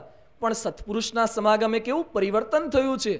ત્યાં બધા કોસંબા ને વાઘ છીપા સેલવાસના બધા ગામડા છે. તો એ લોકો મંદિરે આવતા હોય, તો મંદિરે આવતી વખતે એમના સાયકલના ટાયર નીચે જો દેડકો મરી જાય તો ઉપવાસ કરી લે છે. કેટલી કક્ષા સુધીનું પરિવર્તન કે અત્યાર સુધી તો ઘણા બધા માછલીઓ મારતા હતા, ઘણા પક્ષીઓને મારતા હતા, પણ ભૂલથી પણ આપણાથી હિંસા થઈ ગઈ. જેમ વાલ્મીકી એ નારદજીના સંગે આટલી કક્ષાએ પહોંચી શક્યા, એમ સંત એ હિંસક વ્યક્તિને પણ ખરા અર્થમાં અહિંસાનો પૂજારી એ બનાવી શકે છે. અહીંયા વાલ્મીકીજી પોતે વિચાર કરી રહ્યા છે કે લોકો હિંસા શા માટે કરે છે? એ વખતે આશ્રમમાં મનોમંથન ચાલતું હોય છે, ત્યાં બ્રહ્માજી પધાર્યા. બ્રહ્માજીની પધરામણી થઈ એટલે વાલ્મીકી પોતે સ્વાગત કરે છે, તેઓને આસન આપે છે. બધી ઘણી બધી વાતો થાય છે, પણ એમના મનમાંથી દ્રશ્ય ખસતું નથી. સતત પેલી હિંસાનું દ્રશ્ય એ નજર સમક્ષ આવ્યા કરે છે. ફરીથી બ્રહ્માજી સમક્ષ એમણે પેલો શ્લોક ગાઈને બતાવ્યો. અને બ્રહ્માજીને કહે છે કે અત્યાર સુધી તો મારાથી કંઈ આવો શ્લોક બન્યો નહોતો. આ અચાનક શ્લોક કેમ બની ગયો? એનું પણ મારા મનની અંદર મંથન ચાલી રહ્યું છે. એ વખતે બ્રહ્માજી પોતે બોલ્યા કે મારી પ્રેરણાથી જ સરસ્વતી છંદબદ્ધ વાણી રૂપે પ્રગટ થયા છે. કવિને એ ન પૂછો કે કવિતા કોણ બનાવે છે. કવિતે એ ન પૂછો કે કવિતા કોણ બનાવે છે. રુદિયામાં રહીને સરસ્વતી વીણા બજાવે છે. હૈયામાં રહીને સરસ્વતી વીણા બજાવે છે. એટલે આ તો મુખની અંદરથી આ વાણી એ શ્લોક સ્વરૂપે એ પ્રગટ થઈ ગઈ છે. બ્રહ્માજી પોતે આદેશ આપે છે, રામસ્ય ચરિતમ કૃષ્ણમ કુરુ, ત્વમ ઋષિ સત્તમ હે ઋષિ સત્તમ હે ઋષિ શ્રેષ્ઠ તમે હૈયાની અંદરથી આ સરસ્વતી પ્રગટ થયા છે એટલે મહેરબાની કરીને હવે રામની કથાનો લેખન કાર્યનો પ્રારંભ કરો. વાલ્મીકીને સૌથી પહેલી રામકથા લખવાની આજ્ઞા કરી. બ્રહ્માજીએ એ કથા કરવાની આજ્ઞા પોતે કરી છે. નારદજીએ તમને આખી કથા તો સંભળાવી દીધી છે. એ સિવાય હું તમને આશીર્વાદ આપું છું કે જેટલું નારદજી બોલ્યા છે, એ સિવાયના રામના ચરિત્ર જો રહી ગયા હોય તો હું તમને અંતર્યામી શક્તિ આપી દઉં છું. તમે ત્રિકાળ જ્ઞાની બની જશો અને તમને રામના જન્મથી માંડીને અદ્યાપી પર્યંત જેટલા કંઈ ચરિત્ર છે તમારી નજર સમક્ષ દેખાશે, એ બધા તમે ગ્રંથસ્થ કરી દો. ત્યાર પછી બ્રહ્માજી કહે છે, ન તે વાઘ અંદ્રુતા કાવ્યે, કાચિદ અત્ર ભવિષ્યતિ, કુરુ રામ કથામ પુણ્યામ, શ્લોકબદ્ધામ મનોરમામ. તમારી કથામાં એક પણ અસત્યનો દોષ નહીં આવે. આ બ્રહ્માજીનું વરદાન છે. એટલે પ્રમાણભૂત થઈ ગયો ને આખો રામાયણ ગ્રંથ. બ્રહ્માજીએ કહી દીધું કે અસત્યની એક ઝાંખી પણ નહીં થાય. જે કંઈ લખશો એ તમારાથી સત્ય જ લખાશે. અસત્ય તમારા મનમાં લખવાનો વિચાર આવશે તો પણ તમે નહીં લખી શકો. આ રીતે સત્યનું પ્રમાણ, સત્યની નિષ્ઠા એ બ્રહ્માજીએ પોતે કરાવી અને ત્યાર પછી પોતે કહે છે, રામાયણને વરદાન આપતા બ્રહ્માજી પોતે કહે છે, એ અવસ્થાસ્યંતિ ગિરય, સરિતસ્ય મહિતલે, તાવત રામાયણ કથા, લોકેશુ પ્રચરિષ્યતિ યાવસ્થાસ્યંતિ ગિરય. જ્યાં સુધી આ પૃથ્વી ઉપર પર્વતો રહેશે, સરિતશ્ચ મહિતલે, જ્યાં સુધી આ પૃથ્વી ઉપર સરિતાઓ વહેતી રહેશે, તાવત રામાયણ કથા, ત્યાં સુધી પૃથ્વી ઉપર રામાયણ કથા એ અવિરત વહેતી રહેશે. આ બ્રહ્માજીએ આશીર્વાદ એ રામાયણની કથાને આપી દીધા. એક શોક એ ક્યાં સુધી પહોંચાડી શકે છે? આ કોનો શોક હતો? ઋષિનો શોક હતો? એટલે એમાંથી રામાયણનું સર્જન થયું. મારા તમારા શોકમાંથી રામાયણનું સર્જન ના થાય. શોક શ્લોકત્વમ આગત કહેતા કે શોક એ શ્લોક સ્વરૂપે પરિણમ્યો. આપણો શોક પણ ઘણીવાર શ્લોક સ્વરૂપે બહાર નીકળે, પણ આપણા શ્લોક કેવા હોય છે? ને ઘણીવાર કહે છે ને, મોઢામાંથી શ્લોક બોલવા લાગે છે. બહુ ગુસ્સે થાય એટલે મોઢામાંથી શ્લોક નીકળે, પણ એ શ્લોક કેવા હોય? પણ ઋષિનો શોક એ ખરેખર રામાયણ સ્વરૂપે નીકળ્યો છે. આજે માણસોને પણ શોક, આપણા જીવનમાં પણ શોક આવતો હોય. પણ વ્યક્તિને શોક વ્યાપે એટલે કેટલાક વ્યસન કરવા લાગે. કેટલાક એકાદું ફિલ્મ જોઈ આવે એટલે શ્લોક શોક ટળી જાય. કેટલાક બગીચામાં ફરવા જઈ આવે, અથવા હોટલમાં કંઈક ખાઈ આવે, એટલે શોક ટળી જાય. પણ ઋષિકી આપણા જેવા નહોતા કે આવો સામાન્ય મામૂલી ઉપાય કરે. એણે ચિંતન કર્યું, આવો શોક શા માટે થયો? કાયમી ઉપાય તરફ વળ્યા. જીવનમાં ક્યારેય શોક ન થાય એવી રામકથા મને શોક થયો. પણ જ્યારે જ્યારે જે જે વ્યક્તિને શોક થાય એ રામકથાનું શ્રવણ કરશે, એનો પણ શોક ટળી જાય એવું કંઈક મારે સર્જન કરવું છે. બ્રહ્માજીની કૃપાથી નારદજીના શુભાશિષથી એમણે આ ગ્રંથનું સર્જન કર્યું. એટલે કે વાલ્મીકી રામાયણના લેખક છે વાલ્મીકી મુનિ. આ પૃથ્વી પર રામાયણની જેટલી કંઈ કથાઓ થાય છે, એ રામાયણ ગ્રંથના સૌથી પહેલાં લેખક એ વાલ્મીકી મુનિ છે. એ રામાયણ ગ્રંથ એની અંદર કેટલા શ્લોકો છે એનો પરિચય આપતા વાલ્મીકી રામાયણમાં જ લખ્યું છે. ચતુર્વિંશ સહસ્રાણી શ્લોકાન ઉક્તવાન ઋષિ તથા સર્ગ શતાન પંચષટ કાંડાની તથોત્તરમ. આ વાલ્મીકી રામાયણમાં સાત કાંડ છે, પાંચસો સર્ગ છે અને ચોવીસ હજાર શ્લોક છે. સાત કાંડ, પાંચસો સર્ગ અને ચોવીસ હજાર શ્લોકોનો બનેલો વાલ્મીકી રામાયણ ગ્રંથ છે. મહાભારત કરતાં ચોથા ભાગનો કહી શકાય. મહાભારત એક લાખ શ્લોકોનો બનેલો ધર્મગ્રંથ છે, જ્યારે રામાયણમાં ચોવીસથી પચીસ હજાર કેટલાક વિદ્વાનોમાં જુદા જુદા મતભેદ પ્રવર્તે છે, પણ અત્યારે ભારત વર્ષની સૌથી વધારે પ્રમાણભૂત વાલ્મીકી રામાયણની કોપી એમએસ યુનિવર્સિટીની જે લાઇબ્રેરી છે હંસા મહેતા એની અંદર રાખવામાં આવી છે. એમાં ચોવીસ હજાર શ્લોકવાળું રામાયણ એ પ્રમાણભૂત સમગ્ર ભારતના વિદ્વાનોએ પ્રમાણભૂત કરેલું છે. એટલે એ રામાયણની ભેટ એ વાલ્મીકીએ આપી. વાલ્મીકી લૂંટારા હતા. શરૂઆતની અંદર પણ રામનું એવું ચરિત્ર જોયું એટલે સહેજે સહેજે કવિ સમાન એ પોતે બની શક્યા. ક્યાં લૂંટફાટ કરનારો માણસ અને ક્યાં ચોવીસ હજાર શ્લોકો રચનારો વ્યક્તિ એક લેખક કવિ બની શકે? એટલે જ મૈથિલી શરણ ગુપ્ત એક હિન્દીના ખૂબ સારા લેખક કવિ છે. એણે પોતે લખ્યું છે, રામ તુમારા વૃત સ્વયં હિ કાવ્ય હે, કોઈ કવિ બન જાય સહજ સંભાવ્ય હે. તમારું જીવન જ એટલું સુંદર છે, એટલે કોઈને કવિ બની જવાનું મન થાય. નહીં, આપણે પણ ક્યાંક ફરવા ગયા હોય, આબુ પર સનસેટ પોઈન્ટ જોઈએ, અને આપણને કંઈ આવડતું ન હોય, તોય કવિતા લખવાનું મન થઈ જાય. સહેજે સહેજે એકાદા વાક્ય, વાતાવરણ જોઈએ, પેલે કવિ કોયલના ટહુકાર જોઈએ, મોરને કંઈક ટહુકા કરતો જોવે. આ અવાજ સાંભળેલ સહેજે સહેજે મનમાં મન થઈ જાય કે આપણે પણ કવિતાઓ રચી નાખીએ. મને એ સમજાતું નથી તે કે સૂર્ય અસ્ત કેમ થાય છે. ઘણા સનસેટ પોઈન્ટ પર બેઠા હોય ને, અને પછી વિચાર કરે કઈ કવિતાના જોડકણા બનાવે. મને સમજાતું નથી કે સૂર્ય અસ્ત કેમ થાય છે. આવો તેજસ્વી છતાં પણ પરાસ્ત કેમ થાય છે. આવો તેજસ્વી છે, છતાં પણ પરાસ્ત કેમ થાય છે? આ જાત જાતના જોડકણા બનાયા કરે ને પછી સાથે મિત્રો ગયેલા હોય, એને પૂછે કેવું લાગ્યું આપણું? જિંદગી પહેલી વાર અખતરો કરતો હોય પાછો. અને એમાં એ પાછો કે લાગ, ચાલે એવું છે ને કે? પુસ્તક પુસ્તક લખાઈ જાય ને? હજી બે કડી લખી હોય, ત્યાં તો પાછો કે કેવું લાગ્યું? ત્યારે સામેથી જવાબ મળે, હું વિચારું છું, હું વિચારું છું કે આપણી મિટિંગ બરખાસ્ત ક્યારે થાય છે? હું વિચારું છું કે આપણે છૂટા ક્યારે પડવાનું થશે? હું વિચારું છું કે આપણી મિટિંગ બરખાસ્ત ક્યારે થાય છે? મને એ સમજાતું નથી કે આ કવિતા તારી પત્નીથી બરદાસ્ત કેમ થાય છે?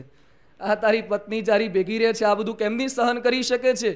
માણસો થોડી ઘણી કંઈક કડીઓ બનાવતા શીખી જાય, એટલે પોતાની જાતને કવિ માની બેસે. નહીં, થોડું ઘણું કંઈક ભાગવતનો એક શ્લોક આવડી જાય, એટલે પોતાની જાતને સંત માની બેસે, લેખક માની બેસે. પોતાની આગળ પદવી લગાવી દે કે સંત શ્રીયા બાપુ કે સંત શ્રીયા કથાકાર બની જાય. કંઈક સહેજ આવડી જાય. એટલે કંઈક બોલનાર પોતાની રીતે પોતાની જાતને પદવી લગાવી બેસે છે. પણ વાલ્મીકી કંઈક એવા નહોતા. સ્વયં એ કવિ બની શક્યા કારણ કે એમાં પોટેન્શિયલ હતું. ભગવાનના ઉત્તમ ભક્ત હતા. એમણે સુંદર આવું સર્જન કર્યું છે વાલ્મીકી રામાયણનું. વાલ્મીકી રામાયણ બ્રહ્માજીના વરદાનથી તો પ્રમાણભૂત છે. સાથે સાથે વિશેષ પ્રમાણભૂત એટલા માટે કે રામે જ્યારે સીતાનો ત્યાગ કર્યો, વનની અંદર મોકલ્યા, તો સીતાજી વાલ્મીકી મુનિના આશ્રમની અંદર રહ્યા છે. વાલ્મીકીએ તેઓનું પાલન પોષણ કર્યું. લવ અને કુશનો જન્મ રામના બે સુપુત્રો, એનો જન્મ પણ વાલ્મીકી મુનિના આશ્રમમાં થયો છે. એટલે કેટલો પ્રમાણભૂત ગ્રંથ કહેવાય. એમણે પોતાની નજર સમક્ષ જ સીતાનું શેષ જીવન લવકુશનો ઉછેર એમણે પોતે કર્યો છે. અને ત્યાર પછી ગ્રંથની અંદર આ બધું લખ્યું છે. વિશેષ આનંદની વાત એ કે વાલ્મીકી રામાયણ આખું તૈયાર કર્યું. એ રામાયણની સૌથી પહેલી પારાયણ, સૌથી પહેલું જો કોઈને શીખ્યું હોય તો રામના બે દીકરાઓને જ શીખવ્યું લવ અને કુશને જ રામાયણનો અભ્યાસ એ વાલ્મીકી મુનિએ પોતે કરાવ્યો. અભ્યાસ કરાવ્યા પછી વાલ્મીકી લવ અને કુશને આદેશ આપે છે કે મેં તમને જે રામાયણ શીખવ્યું છે વાલ્મીકીએ આખું ચોવીસ હજાર શ્લોકવાળું એમને રામાયણ સંસ્કૃતમાં શીખવ્યું હતું. લવ અને કુશની બુદ્ધિ પ્રતિભા પણ કેટલી હશે કે ચોવીસ હજાર શ્લોક કંઠસ્થ કરી શકતા હતા. છાત્રાલયના નોટિસ બોર્ડ પર મૂક્યું છે, કંઠસ્થ કરવાના શ્લોકો, દસ કે પંદર હોય, તોય પણ આપણાથી એ મોઢે થતા ના હોય. તો આ ચોવીસ હજાર શ્લોકો એ કંઠસ્થ કરવાના અને એની પાછી પારાયણ કરવાની લવકુશની ઉંમર દસ કે બાર વર્ષની સામાન્ય નાનકડી એની વય હતી, એ અયોધ્યાની શેરીમાં ફરી ફરીને રામાયણની કથા કહેતા. પોતાના બાપની વાત છોકરાઓ કરી રહ્યા છે. પણ એને ખબર નહોતી કે રામ અમારા બાપ છે. એ વખતે એને ખબર નહોતી રામાયણ શીખવી ત્યાર પછી વાલ્મીકી પોતે રામાયણની પારાયણ કરવા માટે લવ અને કુશ જાય છે. એ વખતે લોકોને વચનબદ્ધ કરે છે. શું આદેશ આપે છે? લોભશ્ચાપી ન કર્તવ્ય, સ્વલ્પોપી ધનવાંછયા, કિમ ધનેન આશ્રમસ્થાનામ ફલ મૂલોપ જીવિતામ વાલ્મીકી કહે છે કે રામાયણની કથા તમે કરજો, પણ લોભને વશ થઈને ના કરતા. ક્યારે સ્વલ્પોપી ધન વાંચયા સહેજ પણ ધનની ઈચ્છાથી, વાંછાથી, અભિપ્સાથી ન કરતા. પૈસા માટે ક્યારેય પારાયણ ન કરવી એવો સૌથી પહેલું રામાયણના લેખક જ કહી ગયા છે. એણે જ ના પાડી છે કે ધનની વાંછાથી ક્યારેય પારાયણ કરવી જ નહીં રામાયણની. વાલ્મીકીએ કેમ આવું બોલ્યા? એ વખતે કોઈ પૈસા લઈને નહોતા જ કરતા ને. હજુ તો પહેલી વાર રામાયણ લખાઈ, પહેલી વાર પારાયણ થાય છે. છતાં પણ કેમ આવી બાહેધરી વચનબદ્ધ કરવા પડે છે? કારણ કે જાણતા હતા વાલ્મીકી કે લવ કુશ તો પૈસા પડાવે એવા નથી, પણ કળિયુગમાં માણસ એવા પાકશે. એવા વિચિત્ર પાકશે કે રામાયણની પોથી આટલા લાખ મૂકો તો જ ખુલે. આજે રામાયણની પારાયણો ઠેર ઠેર થાય છે, પણ આટલા લાખ મૂક્યા પછી જ રામનું જીવન ખુલે. આ પ્રકારે પણ વાલ્મીકીએ તો વચનબદ્ધ કર્યા છે કે ક્યારેય રામાયણ ગ્રંથની પારાયણ એક પણ પૈસાની ઈચ્છાથી ન કરવી. આ જે કથા થતી હોય, કનક કામિનીને કીર્તિ માટે કથા થતી હોય, એ કથા સામેવાળાનું શું પરિવર્તન કરી શકે? જે પોતાને ન બદલાવી શકે, એ સામેની વ્યક્તિમાં બદલાવ શું લાવી શકે? પણ વાલ્મીકીએ આ પ્રમાણે લવ અને કુશને વચનબદ્ધ કર્યા છે, કટિબદ્ધ કર્યા. ત્યાર પછી લવ અને કુશ અયોધ્યાની અંદર ફરી અને રામાયણની પારાયણ બધી સંભળાવે છે. એની વાતો આપણે રામચરિત માનસમાં અંતિમ ભાગની અંદર કરશું કે કેવી પારાયણ સંભળાવી અને રામ સાથેનું મિલન લવ કુશનું ક્યારે થયું. પણ સર્વપ્રથમ આપણે વાલ્મીકીજીનો પરિચય પ્રાપ્ત કરી લીધો. જેઓના આધારે વાલ્મીકી ગ્રંથ આખો લખાયો છે. જેઓના મુખ થકી રામરૂપી સરિતા એ એકવીસ લાખ વર્ષ પહેલાં એનું ઉદ્ગમ સ્થાન વાલ્મીકી પોતે બન્યા. આજે પણ એ રામના ચરિત્રરૂપી સરિતા એ વહી રહી છે. એટલે કે રામાયણના પ્રથમ લેખક એ વાલ્મીકી જે છે. બીજા લેખકનો પરિચય આજે આપણે કંઈક પ્રાપ્ત કરીશું. તેઓના જીવનને સમજવાનો પ્રયત્ન કરીશું. એ છે સંત કવિ તુલસીદાસ. ગોસ્વામી તુલસીદાસ. અત્યારે લોકની અંદર જેટલી કંઈ પારાયણો થાય છે એ બધી તુલસીદાસના રામચરિત માનસની પારાયણ થાય છે. એ તુલસીદાસ કોણ હતા? એ વિશે પણ જાત જાતના મત, મતાંતર છે વિદ્વાનોની અંદર. જુદી જુદી માન્યતાઓ છે. લોકો વિદ્વાનો કહે છે કે વ્યાસજીએ વેદોનો વિસ્તાર કર્યો. વેદોનો વિસ્તાર કર્યો પછી એકવાર પોતે સરસ્વતી નદીના તીર ઉપર પોતે બેઠા છે અને પોતે મનમાં વિચાર કરે છે કે મેં વેદના ચાર વિભાગ કર્યા. બ્રહ્મસૂત્ર, પુરાણ, મહાભારત જેવો એક લાખ શ્લોકોનો ગ્રંથ મેં બનાવ્યો. છતાં પણ મારા મનની અંદર અશાંતિ શા માટે છે? ન આત્મા પરિતુષ્યતી મેં મારો આત્મા એ શાંતિ શા માટે પામતો નથી? આ વ્યાસજીનું મનોમંથન છે. એ વખતે પણ જેણે વાલ્મીકીનું મૂંઝવણ ટાળી હતી, એ નારદજી પાછા પહોંચી ગયા. કોણ જાણે ભગવાનની કૃપા છે કે જ્યારે જ્યારે કોઈક પણ વ્યક્તિને મૂંઝવણ થાય, આવા મોટા મોટાની મૂંઝવણમાં નારદજી પહોંચી ગયેલા જ હોય છે. એટલે નારદજી ત્યાં પહોંચ્યા અને પછી વાલ્મીકા વ્યાસજીએ પોતાની વ્યથા એ નારદજી સમક્ષ રજૂ કરી, વ્યક્ત કરી કે મેં આટલું બધું કાર્ય કર્યું, છતાં પણ મારા મનની અંદર અશાંતિ શા માટે છે? એ વખતે નારદજી પોતે વ્યાસજીને કહે છે કે તમે મહાભારતની અંદર શ્રી કૃષ્ણની વાત લખી પણ તમે એક ઐતિહાસિક પુરુષ તરીકે જ ખાલી લખ્યા છે. એક કુશળ રાજા તરીકે, એક કુશળ યોદ્ધા તરીકે, એક સારથી તરીકે તેઓનું વર્ણન કર્યું છે. પણ કૃષ્ણ એ સ્વયં ભગવાન છે, એક અવતાર છે, એવું નિરૂપણ તમે આ મહાભારત ધર્મગ્રંથમાં કર્યું નથી. એટલે તમને શાંતિ થતી નથી. માટે તમે નવો એક ધર્મગ્રંથ રચો, જેની અંદર કૃષ્ણ કેવળ ઐતિહાસિક પુરુષ નહીં પણ સાક્ષાત ભગવાન છે, એવા ચરિત્રોનું નિરૂપણ કરો. એટલે વ્યાસજીએ ત્યાર પછી નારદજીની આજ્ઞાથી ભાગવત, શ્રીમદ ભાગવત ધર્મગ્રંથ રચ્યો, જેમાં કૃષ્ણને ભગવાન તરીકે નિરૂપ્યા, એના ચરિત્રનું આલેખન કર્યું ત્યારે શાંતિ થઈ. આ ચરિત્રના આધારે લોકો કહે છે કે જેમ વ્યાસજીએ ભાગવત નહોતું રચ્યું, તો અશાંતિ રહી ગઈ હતી. એમ વાલ્મીકીએ રામાયણની રચના કરી, પણ એ રામાયણની અંદર વાલ્મીકી રામાયણમાં રામને કેવળ દશરથના પુત્ર તરીકે જ વર્ણવ્યા. રામને કેવળ એક મર્યાદિત પુરુષ તરીકે જ, એક ગુણવાન પુરુષ તરીકે જ વર્ણવ્યા. પણ સાક્ષાત રામ ભગવાન છે, એવું વર્ણન કરવાનું રહી ગયું. એ તો ચાલ્યા ગયા. એમની કંઈ અશાંતિ તો લોકમાં દેખાય નહીં, એવો કંઈ પ્રસંગ આપણને જોવા મળતો નથી. પરંતુ રામ ભગવાન તરીકે એ લોકોની અંદર ખ્યાતિ ન પામી શક્યા. એટલે પુનઃ એ જ વાલ્મીકી તુલસીદાસ બનીને પાછા આવ્યા. કે મારાથી આટલું કંઈ સત્કર્મ કરવાનું, ભગવાનની ઓળખ કરાવવાનું કાર્ય એ રહી ગયું છે અને ત્યાર પછી એમણે રામચરિત માનસની ભેટ આપી. ભક્તમાળ જેણે રચ્યું છે, એના કરતાં નાભાજી પોતે તુલસીદાસ માટે લખે છે, સંસાર અપાર કે પારકો, સુગમરૂપ નવકો લયો કલી કુટિલ જીને વિસ્તાર, હિત બાલ્મીકી તુલસી ભયવ વાલ્મીકી તુલસી ભયો નાભાજી લખે છે કે હિતના વિસ્તાર માટે, રામનો પરિચય કરવા માટે એ જ વાલ્મીકી પોતે તુલસી થયા. એટલે કળીકાળમાં અમૃત સમાન રામના જે ચરિત્રો એની ભેટ આપનાર એ વાલ્મીકી હતા. સાથે સાથે એના નૂતન ગ્રંથની ભેટ આપનાર એ તુલસીદાસ હતા. એ તુલસીદાસનું જીવન વૃત્તાંત શું હતું એને કંઈક જાણવા માટે આપણે પ્રયત્ન કરીએ. યમુનાના તટે રાજાપુર નામનું એક શહેર હતું. રાજાપુરની બાજુમાં દુબે પૂર્વા તુલસીદાસનું ગામ છે, દુબે પૂર્વા. એ ગામના પોતે વતની હતા. એ ગામની અંદર રુદ્રનાથ મિશ્ર અને હુલસીજી. રુદ્રનાથ મિશ્ર અને હુલસીજી તેઓની કુખે તુલસીદાસનો જન્મ થવાનો હતો. તુલસીદાસ જ્યારે માતાના ઉદરમાં હતા એટલે સામાન્ય રીતે નવ માસે બાળકનો જન્મ માતાના ઉદરમાંથી થાય, પરંતુ તુલસીદાસ માતાના ઉદરમાં તેર માસ થયા છતાં પણ પૃથ્વી પર પ્રગટ થતા નથી જેમ સુખદેવજી પોતાના માતાના ઉદરમાં જાજો સમય રહ્યા, એમ તુલસીદાસ પણ માતાના ઉદરની અંદર તેર માસ પર્યંત રહ્યા. છેવટે ભગવાનને એની માતાએ અતિશય પ્રાર્થના કરી. ઈસવીસન પંદરસો ચોપન શ્રાવણ સુદ સાતમના સંધ્યા સમયે તુલસીદાસનો આ પૃથ્વી પર જન્મ થયો. ઈસવીસન પંદરસો ચોપન અને શ્રાવણ સુદ સાતમે પોતે જન્મ્યા.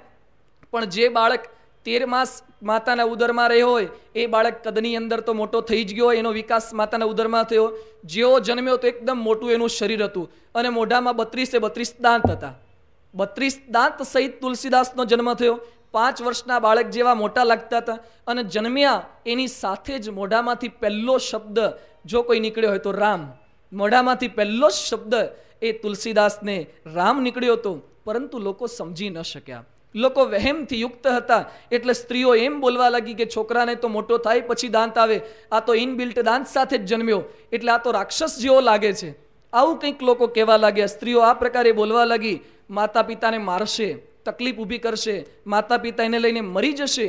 આ બધી લોકવાયકા મનની અંદર જે લોકોના મનમાં હોય, અફવાઓ ફેલાવા લાગ્યા. એના પિતાને બાળક ગમવા ન લાગ્યો. એને અરુચિ થઈ ગઈ કે છોકરો મોટો થશે ને આપણને મારી નાખશે. રાક્ષસ જેવો જન્મ્યો છે. એની માતા હુલસી ઘણું સમજાવે. કઈ માતાને પોતાનો છોકરો ન ગમે, પણ છતાં પણ એના પિતાશ્રી પોતે સહમત થતા નથી. છેવટે હુલસી એની અંત અવસ્થા આવે છે. પેલો બાળક તો નાનો જ હતો. કંઈક રોગાદિક આપદા આવી ગઈ હુલસીને. એ વખતે હુલસીએ પોતાની એક દાસી હતી, પ્રિય દાસી ચુનિયા. ચુનિયા દાસીનું નામ છે. એને આ તુલસી પોતાનો દીકરો હતો. એને પોતે ભેટની અંદર આપે છે. અને કહે છે કે મારા ઘરેણા, મંગલસૂત્ર, એ બધું તને આપું છું. આના બાપ તો છોકરાની સંભાળ રાખે એવા નથી, માટે તું આની સંભાળ રાખજે. અને પછી હુલસી એ પોતે અંદર ધામની અંદર સીધાવી ગયા. આ બાજુ દાસી એની સંભાળ રાખતી હોય છે, પણ પેલાના બાપ તરફથી અતિશય કનડગત એટલે દાસી હુલસી એ પોતે ઘરેણાને બધું લઈ અને પોતાનો સસુર પક્ષ હરિપુર કરીને ગામ હતું. એ હરિપુરની અંદર પહોંચી ગઈ પિતાને ઘણે બધો સંદેશો મોકલાવ્યો તમારા દીકરાને અહીંયાથી લઈ જાઓ. મેં આટલા વર્ષ તો સાચ્યો પણ પેલા પણ લેવાની ના જ પાડે છે. આનું નામાભિધાન હજુ તો થયું નથી. આ તો તુલસીદાસ આપણને ખ્યાલ આવે એટલે તુલસીદાસ એવું બોલીએ છીએ. પણ એનું નામાભિધાન થયું નહોતું. એને લોકો રામ બોલા કહીને બોલાવતા હતા કે જન્મતાની સાથે જે રામ શબ્દ બોલ્યો છે, એટલે રામ બોલેલો એવો રામ બોલા. એટલે ગામની અંદર બાળકો એને રામ બોલા કહીને બોલાવે. થોડોક સમય વીત્યો છે આ બાળક સાડા પાંચ વર્ષનો થયો. ત્યાં પેલી દાસી કંઈક ગાય દોવા માટે જતી હશે, એમ એને સર્પદંશ થયો, પેલી દાસી મૃત્યુ પામી ગઈ. હવે દાસી એક સંભાળ રાખનારી હતી. આ બાળકને બીજું તો કોઈ ઓળખનાર નહોતું. એના પ્રત્યે સાચી મમતા દાખવનાર કોઈ નહોતું. એની સંભાળ કોણ રાખે? સાડા પાંચ વર્ષનો બાળક એ ગામની અંદર જેમ તેમ પોતે ભટકવા લાગ્યો, નિરાધાર બની ગયો છે. કોઈ એને જમવાનું પણ ના આપે. તો આ બાળક શું જમે? પેલી ચાટ હોય જે પેલા પશુઓને જમવા માટે, ગાયો, ભેંસોને, કૂતરાઓને જમવા માટે જે એઠવાડ બધો નાખતા હોય તો ગાયો ભેંસો કૂતરાઓ જે ખાતા હોય, એની ભેગો ભેગો બેસીને છોકરો ખાય.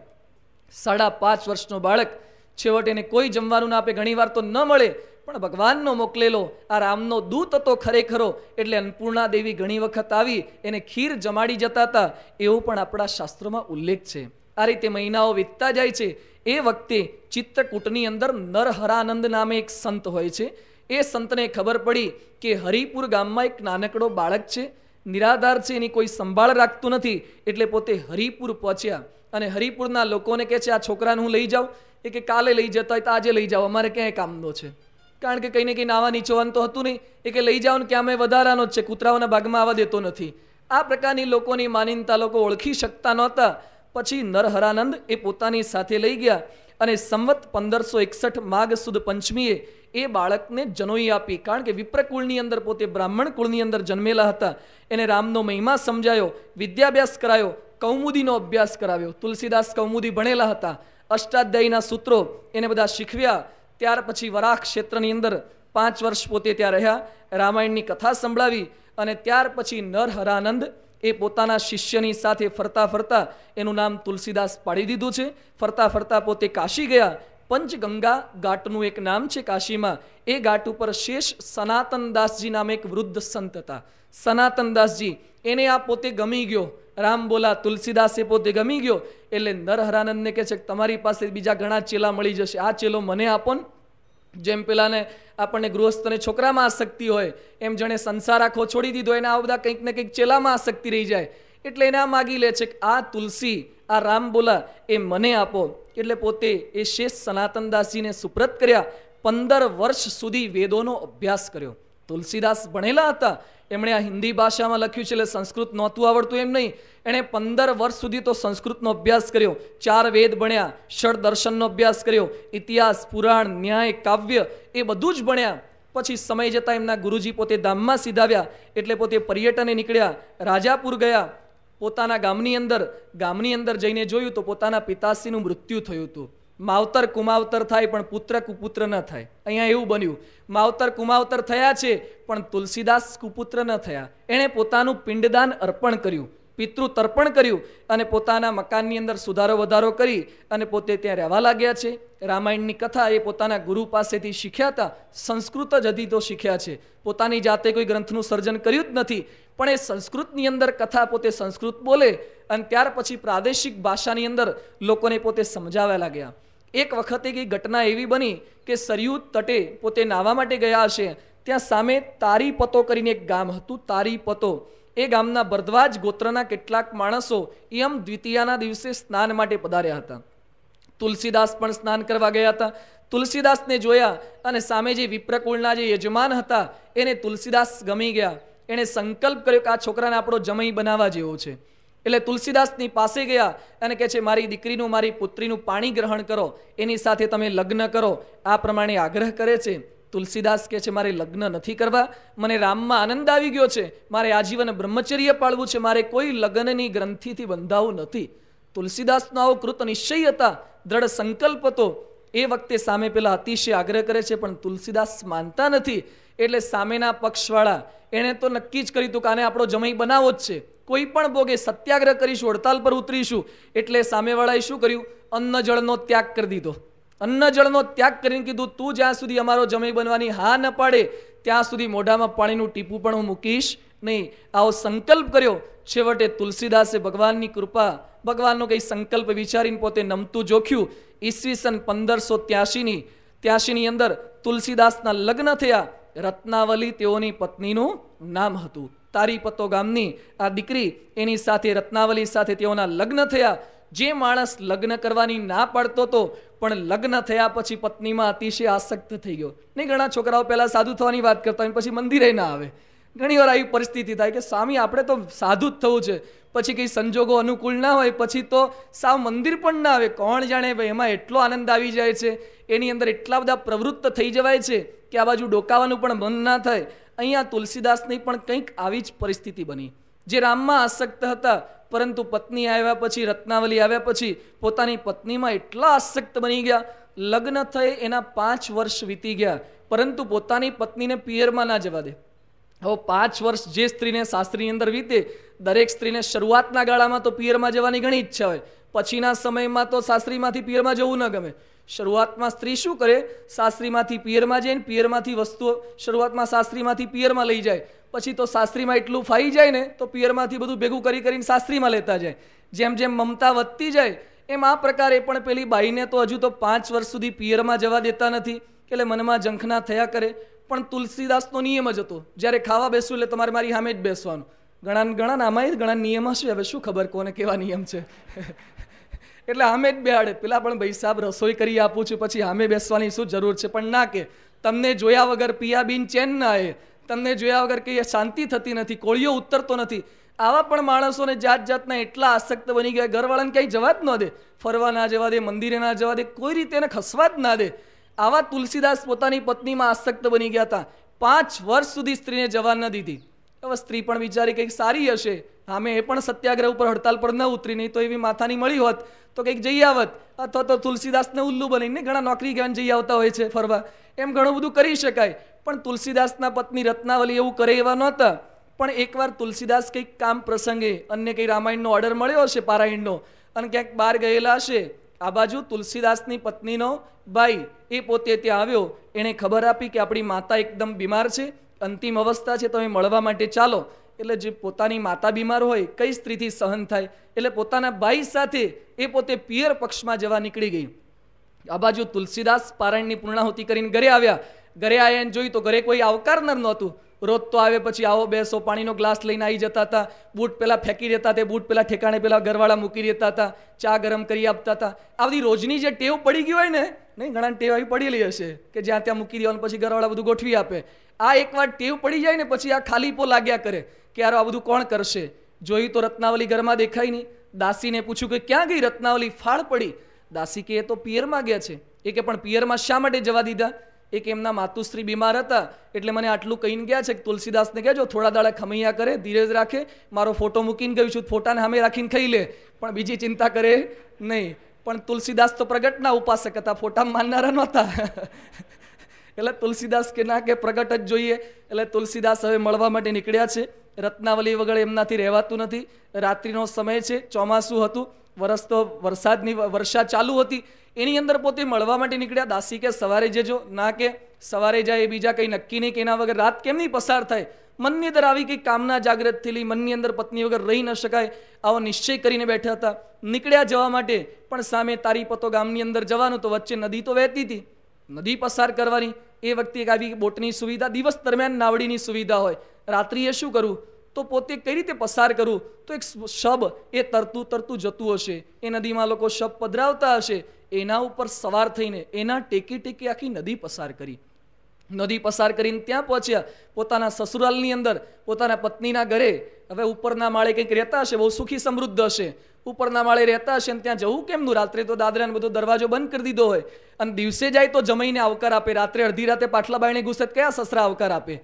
એટલે જુદા ગેર રસ્તે જ બેસવાનું થયું. એટલે પાછલા બાયણેથી ચડવાનો વિચાર કર્યો. ઉપરના માળે બાર બાલ્કની જેવું પડતું હતું પણ ચડવું કેમનું?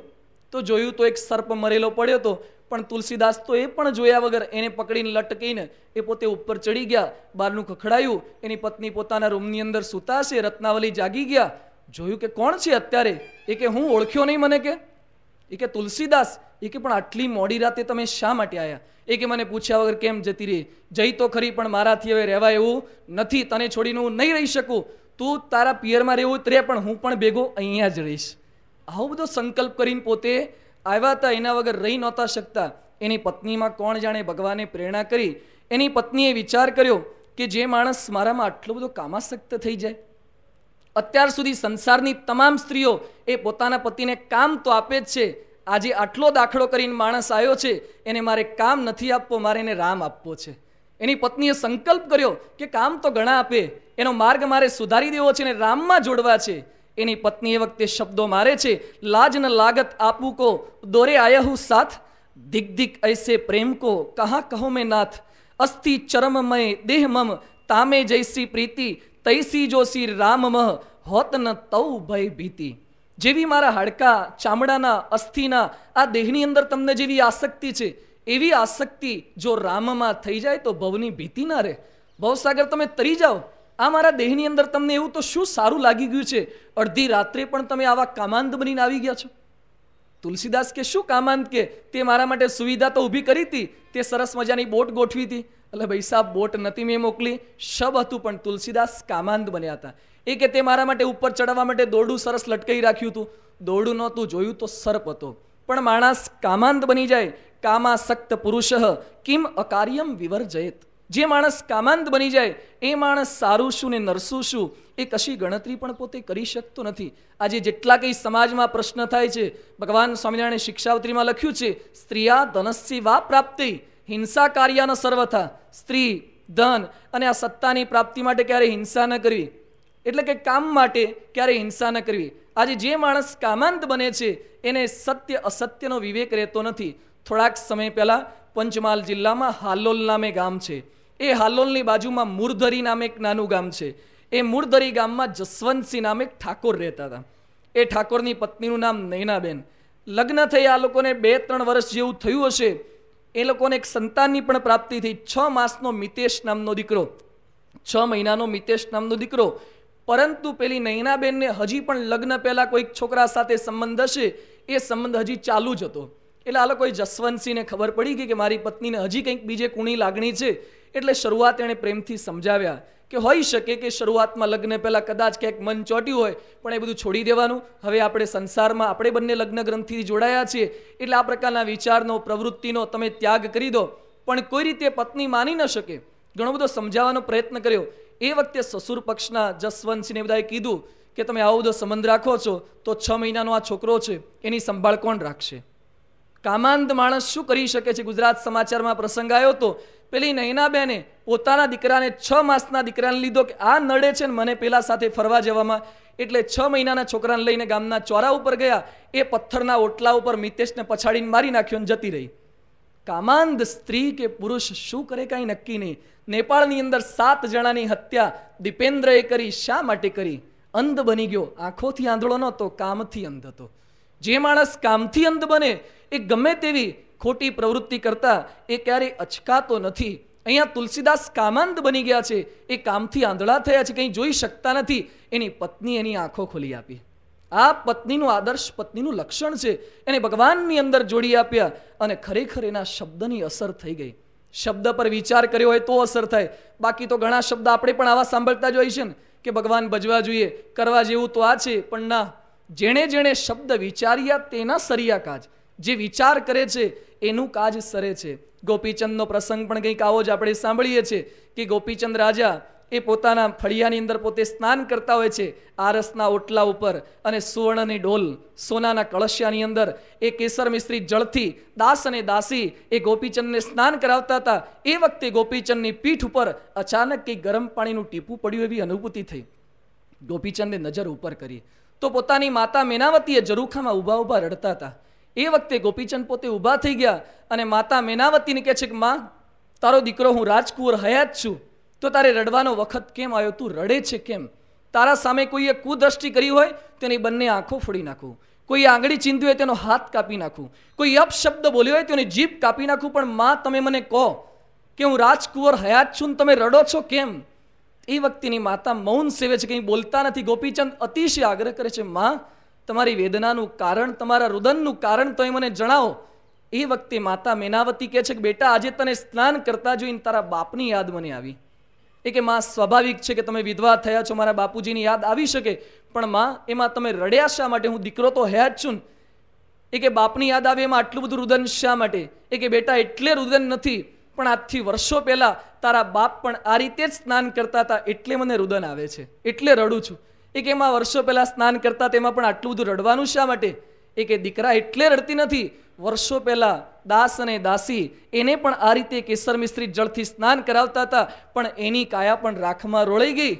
તો કે માં, મારે શું કરવું બેટા, આજે મને વિચાર આવે છે કે તારી કાયા પણ શું રાખમાં રોળાઈ જશે? બેટા, કંઈક સત્કર્મ કરી લે, કંઈક ભગવાનના માર્ગે નીકળી પડ. એની માતાએ આ સંદેશો આપ્યો. અને ગોપીચંદે શબ્દ વિચાર્યા. જેણે શબ્દ વિચાર્યા તેના સરિયાકાજ. વિચાર કર્યો અને પહેરેલે ભીને લુગડે. ગોપીચંદ ત્યાંથી નીકળી ગયા માતાનો ત્યાગ કરીને. એમ અહીંયા તુલસીદાસની પત્નીના શબ્દ લાગ્યા રત્નાવલીના. લાજ ન લાગત આપું કો દોરે આયો હું સાથ.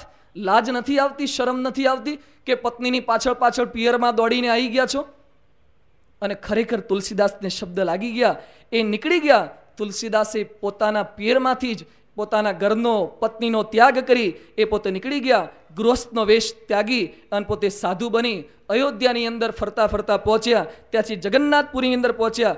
જગન્નાથપુરીની અંદર વાલ્મીકી રામાયણની હસ્તપ્રત એ પોતે ઉતારી લીધી છે. હવે એમાંથી રામચરિત માનસ બનાવવાનો પોતે સંકલ્પ કરી રહ્યા છે. રામચરિત માનસ એમણે શા માટે બનાવી? વાલ્મીકી રામાયણના સારા કથાકાર તો પોતે હતા જ. તો રામચરિત માનસની રચના કરવાની જરૂર શા માટે પડી? એ રામચરિત માનસ લખતી વખતે કેવો કેવો વિરોધ થયો છે? રામના ચરિત્ર હતા.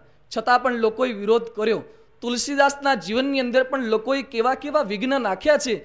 એ વિઘ્નોની વચ્ચે પણ તુલસીદાસે કેવી સ્થિરતા રાખી છે? એની વાતો આપણે આવતીકાલે કરીશું.